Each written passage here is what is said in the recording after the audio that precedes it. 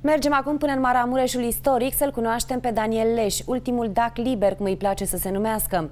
E artist ceramist și se mândrește cu asta. A dus faima olăritului tradițional românesc peste tot în lume și a devenit astfel celebru prin creațiile sale desăvârșite.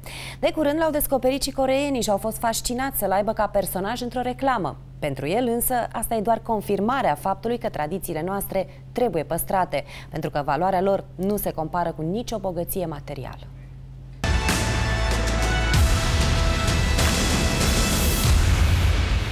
Pentru mine cele mai frumoase locuri sunt locurile unde am umblat desculț și locurile uh, care le simt, care îmi fac parte. Mi sunt fipte rădăcinile aici în zona asta, uh, Marea Mureșului. Pentru mine asta e România. În Maramureșul istoric, acolo unde trăiește Daniel Leș, timpul are altă dimensiune și se împletește cu o liniște pe care doar acolo o poți înțelege troznitul lemnelor în foc și liniștea care te doare aici, nu se aude decât ticăitul ceasului, uh, te, te duce, te transpune într-o altă lume. România pentru mine înseamnă a nu-ți uita obiceiurile și caut din răsputeri să, să mai țin de ceea ce mi-a rămas și mi-a rămas autentic și o să fac asta cât o să trăiesc. Mărturiile străbunilor și ale vieții liniștite încă există.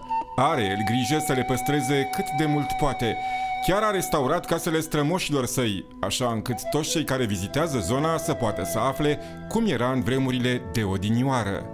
Pentru mine este o datorie sfântă să, să păstrezi ceea ce am primit de la, de la Daci Liberi din Maramureș. Și asta e o valoare. E o casă de 180 de ani. O casă pe care am ales să să o salvez, să o pun în valoare și să le arăt nepoților mei cum au trăit pe vremuri uh, dacii din Maramureșul istoric. Această casă cioplită din secure și adusă până la mine în stare bună, mă dore sufletul să, să, să, să o tărâm și să faci uh, altceva. Daniel Leș s-a născut în 1972 în familia pictorului și ceramistului Ioan Leș, încă de la 5 ani era în atelierul tatălui său, care i-a și creionat talentul pentru desen și ceramică modelată pe roata olarului.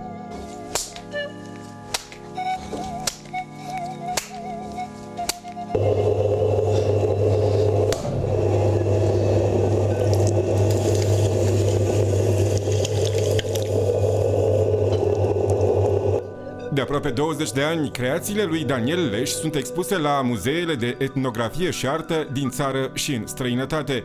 Au cucerit Europa și, mai nou, Asia. De două săptămâni s-a întors din Coreea, unde a filmat la Seul o reclamă pentru un producător de cuptoare. Am lucrat în văzul lor două săptămâni, am fost acolo, filmat în toate unghiurile să, să fac un film documentar despre ceramica, ceramica românească, ceramica dacică din Maramureș. Uh, interesant să vezi o altă cultură, să vezi oameni de seamă, oameni care sunt interesați de de obiceiurile noastre și de ulcelele noastre pentru lapte. Pentru mine a fost un șoc. Se învârteau în jurul meu ca și în jurul unui mare, mare artist. Eu tot încercam să-i conving că uh, sunt un uh, dac liber din Maramureș și nu am nevoie de, de multe uh, artificii. Oamenii toți se, se înclină, sunt foarte respectuoși, câteva imagini interesante care erau filmate în profil. S-au chinuit vreo 10 minute cum să-mi spună dacă pot să-mi trag un pic burta. A fost contactat și de doi regizori din America, din subdivizia lui Mel Gibson, care vor să-l aibă într-un film despre România comunistă. Dacul nostru urmează să joace rolul unui pusnic ce stă undeva într-o pădure și făurește îngeraș din lut care la fel vor să stau două luni acolo să facă un film documentar pe care să-l prezinte în școlile lor. Gândiți-vă că ei au pierdut ceea ce noi astăzi avem proaspăt. Eu cred că trebuie să ne trezim și trebuie să ținem la aceste valori cu dinții, dacă, dacă e cazul, să nu ni se dilueze cu credință în Dumnezeu și dator moral lui pentru tot ceea ce este acum, Daniel Leș îl interpretează an de an pe Isus în celebra scenetă care reface drumul crucii. Dar cel mai bine se simte la roată, în casa olarului de la Baia Sprie.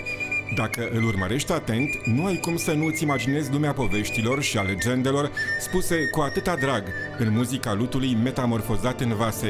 E un loc magic pe care fiecare dintre noi ar trebui să-l viziteze măcar o dată în viață.